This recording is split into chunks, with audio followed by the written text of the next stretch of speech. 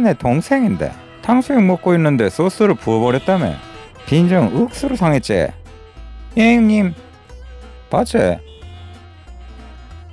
편하게 먹으라고 부어준 긴데. 하 편할고.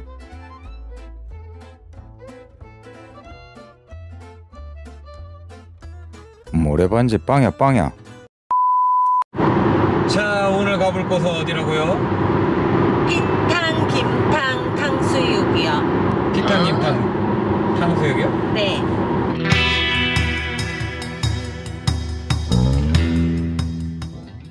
안녕하십니까 맛집 real reviewer 후슐랭 가이드입니다 오늘은 공주에 가면 꼭 먹어봐야 할 퓨전 탕수육이 있다는 지인의 제보를 받고 그 맛이 궁금해서 직접 본점으로 찾아가 보고 있는데요 충남 공주시에 위치한 이곳은 이 지역에서 대학 생활을 하고 나온 동생들이 진짜 맛있다고 입에 침이 마를 정도로 칭찬을 한 집이라 기대감에 부풀어 길을 나서긴 했는데 찾아가는 동안 너무 외지에 있어 혹시 내비가 잘못됐나? 의심이 될 정도의 인적이 드문 길을 지나고 나서야 도착을 했습니다 이 정도면 동생들이 나를 김피탕을 먹으라고 한 게 아니라 꿀탕을 먹이려고 알려준 듯해서 욕을 한 바가지 하려는 순간 오, 여기만 갑자기 헌해. 도착을 했습니다. 바로 이곳인데요.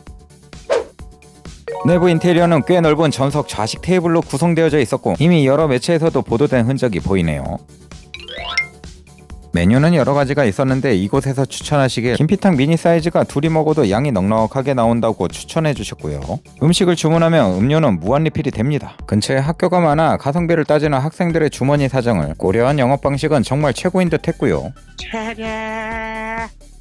주문한 김피탕이 나왔는데요. 생전 처음 보는 비주얼이라 조금의 당혹감이 생기는데 일단 어마무시한 양에 놀라웠고 진짜 처음 보는 비주얼이라 맛도 상상이 안 가서 그런지 먹음직스러워 보이지는 않더라고요. 들어간 재료로는 야채와 김치, 탕수육 소스 그리고 치즈가 덮여 있었고요. 식으면 치즈가 굳어버릴 수 있기 때문에 빨리 비벼줘야 한다고 합니다.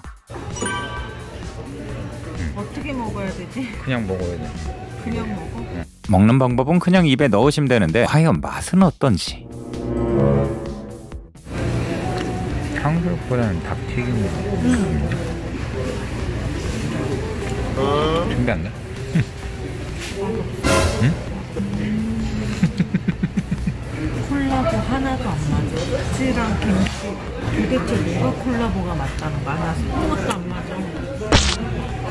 고기는 돼지고기가 아니라 닭을 튀긴 것 같았으며 꾸덕한 치즈가 매력적이긴 하나 느끼함이 너무 강하고 김치마저도 달게 느껴져 제 입맛에도 조금 먹다가 금방 질릴 맛이었습니다 일단은 한번 이 김치하고 치즈에 감싸서 먹어보기도 하고 야채와도 같이 먹어봤습니다 아무리 먹어봐도 난해한 음식이었고요 누구인지 사인을 했는데 과거형으로 적혀져 있네요 결국 다 먹는 건 포기하고 말았습니다 가자고? 아, 한 개만 더.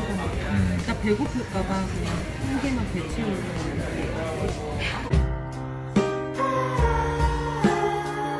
어찌됐던 계산을 김피탕 미니 15,000원이 나왔네요 자 오늘 어떠셨어요?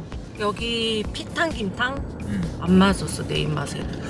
치즈나 김치 뭐 이런 거 다 좋아하는데 뭔가 좀 약간 겉도는 것 같더라고요 그냥 느낌은 좀 그랬습니다 나는 맛이 없어 여기가 방문자 리뷰나 이런 걸 찾아보면은 맛있어요 좋아요가 많아 근데 그게 왜 그런지를 내가 이렇게 먹으면서 좀 봤는데 음. 가성비가 좋고 양이 되게 많으며 손님들 연령대가 음. 20대 그 분들이 많더라고 음. 먹을 데가 별로 없는 것 같아 없어 여기 어, 그래서 이, 또. 이 여기 충남 공주에 사는 좀 젊은 친구들이 좋아할 것 같기는 해. 어, 것 어. 탕수육이라고는 하는데 다 탕- 튀김이었어 탕수육이 아니라 다 치킨 치킨?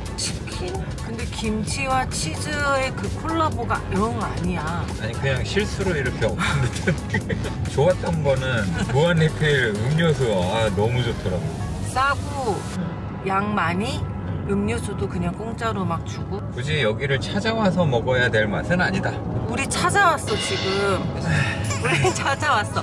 우리는 어디든 다 찾아가. 아, 제보를 받, 받으면 반드시 언젠간 찾아가. 자 오늘은 충남 공주가 원조인 김피탕을 직접 먹어보러 와봤는데요. 결론적으로 확실히 가성비가 있는 음식이긴 하지만 탕수육인지 치킨인지 애매모호했으며 연령층에 따라 나뉘어지는 호불호가 강한 음식이었습니다. 근처에 방문할 일이 있으신 분이라면 드셔보시고 어땠는지 댓글로 꼭 남겨주시길 바랍니다. 긴 영상 시청해주셔서 감사드리고요. 다음에도 솔직 리뷰는 계속됩니다. 오늘의 영상이 도움이 되셨다면